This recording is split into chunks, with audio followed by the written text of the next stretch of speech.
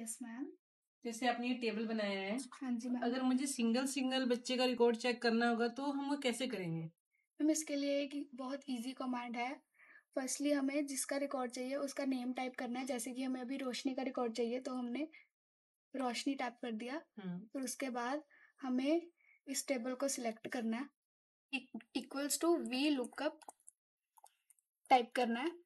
फिर उसके बाद हमें हमने ब्रैकेट स्टार्ट करने हैं। ओके फिर उसके बाद रोशनी को सिलेक्ट करना है। हम्म। फिर कॉमा लगाना है। ओके फिर उसके बाद टेबल सिलेक्ट करना है। हम्म।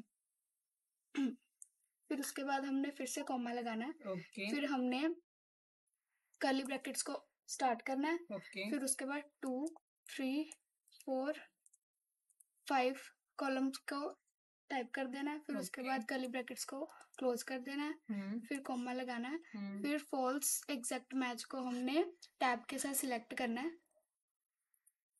फिर उसके बाद हमें ब्रैकेट क्लोज कर देनी है एंड देन कंट्रोल एंटर कर देना है। तो जिसका डाटा हमें चाहिए होगा वो शो हो जाएगा। और अगर नेम चेंज करेंगे तो? तो उसी का शो होगा जैसे कि अब हमने नेहा सिलेक्ट करना है। नेहा किया तो नेहा का डाटा शो हो जाएगा। गुड